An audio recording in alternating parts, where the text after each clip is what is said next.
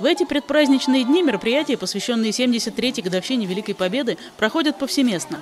Одно из центральных состоялось в воскресенье в театрально-концертном центре «Щелковский театр». Торжественный прием под эгидой руководства Щелковского района. День был выбран не случайно. 6 мая установлен законом как День воинской доблести Подмосковья. А также это и День памяти святого Георгия Победоносца, покровителя всех воинов.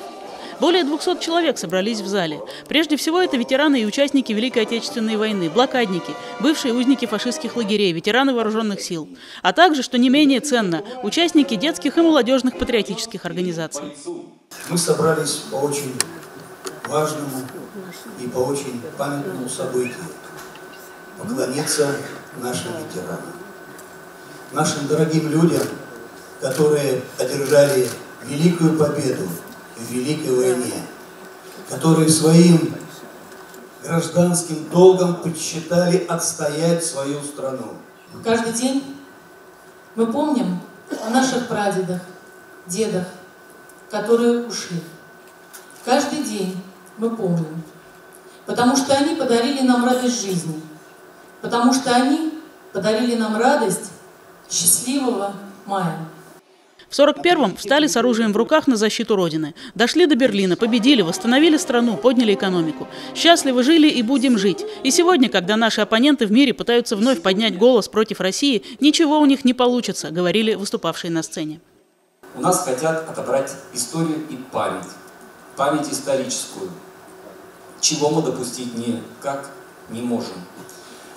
Да, действительно, нас всегда испытывали на прочность, испытывали военным путем. Никогда у наших врагов это не получалось.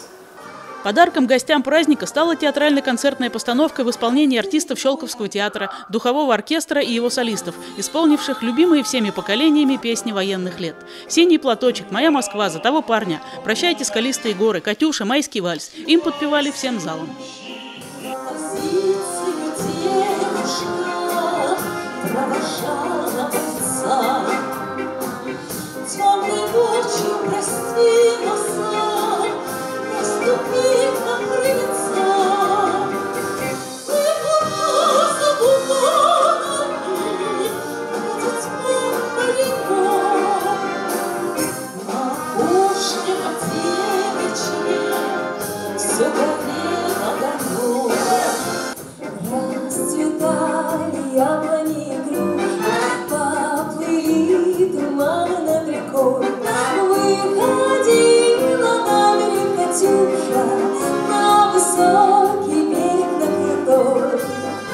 Ирина Микеда, Игорь Поляков, телерадиокомпания «Щелково».